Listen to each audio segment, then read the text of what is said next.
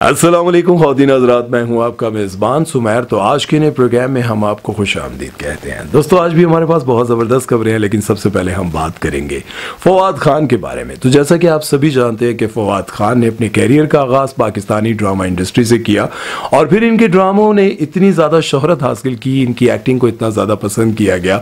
یہ نہ صرف پاکستان میں، بلکہ بھارت میں بھی بہت زیادہ مشہور ہو گیا اور وہاں کے ڈائریکٹر اور پروڈیوسر نے ان کو اپنی بڑی بڑی فلموں میں کاسٹ کر لیا۔ اور وہاں بھی انہوں نے اپنی بہترین ایکٹنگ کے جھنڈے گاڑے اور لوگوں نے ان کو بے پناہ پسند کی اور ان کے بارے میں پاکستان اور انڈیا میں یہ بات مشہور تھی کہ ایشیا کے خوبصورت ترین شخص ہیں۔ بہرحال یہ آپ ہی بتا سکتے ہیں کہ ایسا کیوں ہے۔ ابھی ریسنٹلی ان سے ایک انٹرویو میں پوچھا گیا کہ آپ پاکستانی ڈرامہ انڈسٹری میں کب واپس آ رہے ہیں؟ جبکہ آپ سب کو یہ بات بھی پتا ہوگی کہ مولا جٹ ان کی سپر ڈوپر ہٹ فلم رہی۔ لیکن اب وہ یہ کہتے ہیں کہ میرا جو وجود ہے، میری جو پرسنالٹی ہے، جو میرا چہرہ ہے وہ پاکستانی ڈرامہ انڈسٹری کے لیے نہیں رہا۔ یہ وہ کہتے ہیں۔ وہ کہتے ہیں کہ جو میری ایج ہے جو میرا لک ہے اس سے نہ تو میں اب لڑکا لگتا ہوں اور نہ ہی میں بڈھا لگتا ہوں میں درمیان میں ہوں۔ تو مجھے اگر ٹی وی پر کام کرنا ہے تو اس کے لیے مجھے تقریباً دس سال انتظار کرنا پڑے گا۔ کیونکہ اب میں بڈھا ہو گیا ہوں اب میں ہیرو آؤں گا تو نئے لڑکوں کے لیے زیادتی ہوگی۔ نائس ٹیلنٹ کمے گا آپ تو اس میں آ کے ایک بڈھا آدمی جو تھوڑا سا عجیب لگے گا وہی والی چیزیں کرتے ہوئے۔ I need to move up the leader as far as age is concerned and then come back. وہ کہتے ہیں کہ ٹی وی وی پر اب جو نئے لڑکے کام کر رہے ہیں، وہ بہت اچھا کام کر رہے ہیں اور سوٹ کرتے ہیں وہ۔ میں وہاں پر جا کر شاید اپنے آپ کو بڈھا محسوس کروں گا۔ یہ بہت بڑی بات ہے کہ بھائی، انہوں نے اپنے آپ کو بڈھا مطلب ایسا لفظ استعمال کیا، ورنہ آپ کو پتا ہے ہماری انڈسٹری کی بڑی بڑی جو ایکٹریس ہیں، وہ بھی اپنے آپ کو ایکسیپٹ نہیں کرتی کہ وہ بڈھی ہوگی۔ لیکن یہ بہت بڑی بات ہے کہ وہ اپنے آپ کو بڈھا سمجھ رہے ہیں اور بڈھا مان رہے ہیں۔ لیکن ابھی تک تو ہمارے ہمایوں سعید اور عدنان صدیقی صاحب اپنے آپ کو بڈھا نہیں سمجھتے، فیصل قریشی صاحب نہیں سمجھتے۔ لیکن آپ اپنے آپ کو بڈھا سمجھ رہے ہیں تو بھائی بہت بڑی بات ہے۔ آپ لوگ کیا کہتے ہیں فواد خان کو ڈرامہ انڈسٹری میں آنا چاہیے دوبارہ سے؟ اگر آپ لوگ چاہتے ہیں کہ فواد خان کو ڈرامہ انڈسٹری میں دوبارہ سے واپس آنا چاہیے اور یہ بھی آپ جانتے ہیں کہ فلمیں تو بن نہیں رہی کمنٹ سیکشن میں ضرور لکھیے گا۔ ہو سکتا ہے کہ ہماری ویڈیو ان کی نظر سے گزرے اور ان کو پتہ چلے کہ فواد خان کے چاہنے والے یہ چاہتے ہیں۔ تو چلتے ہیں نیکسٹ خبر کی طرف۔ اور بات کریں گے شاداب خان کے بارے میں۔ تو شاداب خان نے ریسنٹلی ایک پوسٹ لگائی ہے جس میں انہوں نے کہا ہے کہ ہمیں شوکت خانم کینسر ہاسپٹل کو چیریٹی کرنے نہیں دی جا رہی۔ ہمیں اس چیز سے منع کیا جا رہا ہے۔ ہمیں وہاں پر فنڈ نہیں دینے دیا جا رہا، زکوٰۃ ہم وہاں پر نہیں دے سکتے، صدقات نہیں دے سکتے۔ یہ بہت بڑی زیادتی ہے کیونکہ شوکت خانم ہاسپٹل نے نہ جانے کتنے مظلوم لوگوں کی جانیں بچائی ہیں اور یہ پاکستان کا سب سے بڑا کینسر ہاسپٹل ہے، جہاں پر بہت سارے غریب اور مظلوم لوگوں کا مفت علاج بھی کیا جاتا ہے۔ وہاں پر بہت سارے امیر لوگوں کا بھی کیا جاتا ہے، لیکن غریبوں کا جو مستحق ہیں، ان لوگوں کا بھی علاج کیا جاتا ہے اور وہ اسی طرح سے کیا جاتا ہے۔ جتنے بڑے بڑے مطلب لوگ ہیں، پیسے والے لوگ ہیں، وہ اس کو چیریٹی کرتے ہیں، وہاں پر پیسہ دیتے ہیں، تب جا کر ان غریب لوگوں کا علاج ممکن ہے۔ لیکن وہ یہ کہتے ہیں کہ ہمیں چیریٹی کرنے سے روکا جا رہا ہے۔ بہرحال مجھے شاداب خان کی یہ بات بہت اچھی لگی کہ انہوں نے اس کے لیے آواز اٹھائی ہے اور انہوں نے لوگوں کو کہا ہے کہ جو لوگ بھی ان کو منع کر رہے ہیں یا پھر وہاں پر چیریٹی نہیں کرنے دے رہے تو ان سے انہوں نے ریکویسٹ کی ہے کہ ہمیں اس ہاسپٹل کو سپورٹ کرنے دیا جائے۔ اور ساتھ میں آپ کو یہ بھی بتاتا چلوں کہ شاداب خان کا تعلق بھی میاں والی سے اور عمران خان کا بھی تعلق میاں والی سے ہے۔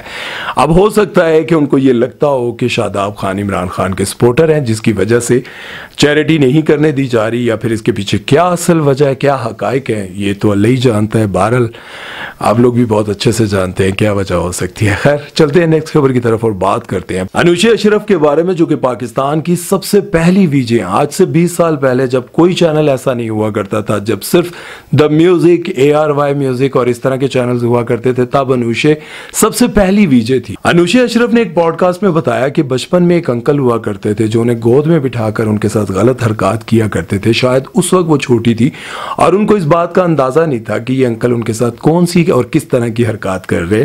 اور وہ مسلسل کرتے رہتے تھے اور وہ بتاتی ہیں کہ ابھی کچھ دن پہلے میں ایک شادی پر گئی اور وہی انکل جو اب بوڑھے ہو چکے تھے، اب بھی انہوں نے ایک بچی کو اپنی گود میں بٹھایا ہوا تھا اور میں نے ان کو جب دیکھا تو میں ان کے پاس چلی گئی اور میں نے اس بچی کو ان کی گود سے ہٹایا۔ اور کہنے لگے کہ کون ہو تم اور مجھ پر اس طرح کا الزام کیوں لگا رہی ہو؟ میں نے اس بچی کے ساتھ ایسا کچھ بھی نہیں کیا، تمہیں غلط فہمی ہوئی ہوگی۔ لیکن انوشے نے ان کو بتایا کہ آج سے کئی سال پہلے جب میں بہت چھوٹی ہوا کرتی تھی تو میرے ساتھ بھی تم اسی طرح کی گھٹیا حرکات کیا کرتے تھے۔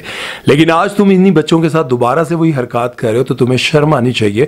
مجھے یوں لگتا ہے کہ انوشے نے کہا کہ میں ان کا نام نہیں لینا چاہتی، لیکن مجھے یوں لگتا ہے کہ ان کا نام بھی لینا چاہیے تھا اور اس بندے کے منہ پر تھپڑ بھی مارنا چاہیے تھا، تاکہ لوگوں کو پتا چل سکتا کہ یہ بڈھا آدمی کس طرح طرح کی حرکات کر رہا ہے اور آپ کی فیملی میں بیٹھ کر معتبر بن کر آپ کے ہی بچوں کے ساتھ اس طرح کی گندی حرکات کرتا ہے۔ اس لیے میں آپ کو بہت ساری ویڈیوز میں پہلے ہی یہ بات کہہ چکا ہوں کہ اپنے بچوں کو سوائے ایسے رشتوں کے جن پر آپ کو ٹرسٹ ہو، جن کا آپ کو پتا ہو، ان کے علاوہ کبھی بھی اپنے بچوں کو کسی کی گود میں بیٹھنے کی اجازت نہ دے۔ بہت سارے لوگ ناراض ہو جاتے ہیں کہ مجھے اپنے بچوں سے دور کیا یا ایسا کیا۔ ہونے دو ناراض۔ اپنے بچوں کو احترام ضرور سکھائیں، تمیز ضرور سکھائیں، لیکن کسی کی گود میں بیٹھنے کی اجازت ہرگز مت دیں۔ چلتے ہیں نیکسٹ خبر کی طرف اور بات کرتے ہیں۔ ایمن سلیم کے بارے میں جو کہ پاکستانی کرکٹر سلیم صاحب کی بیٹیاں اور انہوں نے ڈراما سیریل چپکے چپکے میں کام کیا تھا اور راتوں رات سپر سٹار بن گئی تھی۔ سی بی اے یعنی کہ ارسلان نصیر کے ساتھ ان کی جوڑی کو بہت زیادہ پسند کیا گیا تھا اور سوشل میڈیا پر بہت زیادہ لوگ یہ چاہ رہے تھے کہ ان کا آپس میں کوئی نہ کوئی ایسا کنیکشن بن جائے، رشتہ بن جائے اور آپ کو یہ بھی پتا ہوگا کہ ارسلان ان کو بہت زیادہ پروموٹ کرتے تھے۔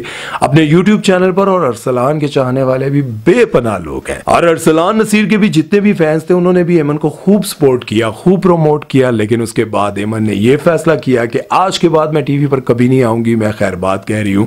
کبھی وہ سوچتی ہیں، آ جاؤں، کبھی سوچتی ہیں کہ چھوڑ دوں۔ ابھی ریسنٹلی ان کی شادی ہوئی اور ان کی شادی پر بہت زیادہ کنٹروورسیز بنی۔ اس کی وجہ یہ ہے کہ ان کے کچھ ایسے ڈریسز تھے جو کہ بہت واحد تھے اور وہ جو اپنے شوہر کے ساتھ ڈانس کر رہی تھی، اس ڈانس کو لے کر بھی لوگوں نے بہت اعتراضات کیے۔ جس طرح سے وہ ڈانس مطلب فلموں میں ہوتے ہیں، جس طرح سے فلموں میں ایک ہیروئن اور ہیرو ڈانس کر رہے ہوتے ہیں اور جو جو سینز آ رہے ہوتے ہیں اسی طرح کا کچھ کر کے انہوں نے سوشل میڈیا پر ڈالا لیکن لوگوں کو بہت برا لگا لیکن اصل ہیٹ ایمن کو نہیں ملا اصل ہیٹ ان کے ہسبینڈ کو اس وقت ملا جب ایمن یہ سب کچھ کرنے کے بعد رخصت ہو رہی تھی اور رو رہی تھی تو ان کے ہسبینڈ کو بہت زیادہ غصہ آ رہا تھا وہ بہت زیادہ ایریٹیٹ ہو رہے تھے اور کہہ رہے تھے کیا ڈرامے لگائے ہوئے اور آپ ان کی یہ شکل بھی دیکھ سکتے ہیں ان کو بہت زیادہ غصہ آ رہا تھا کہ یار یہ ڈرامے بازی بند کرو اور بیٹھو گاڑی میں اور چلے اس پر لوگوں کو بہت زیادہ غصہ آیا اور لوگوں نے کامنٹ سیکشن میں لکھا کہ آپ کو ایمن کو حوصلہ دینا چاہیے تھا، سہارا دینا چاہیے تھا، لیکن آپ اس کا مذاق اڑا رہے تھے، آپ کو غصہ آ رہا تھا۔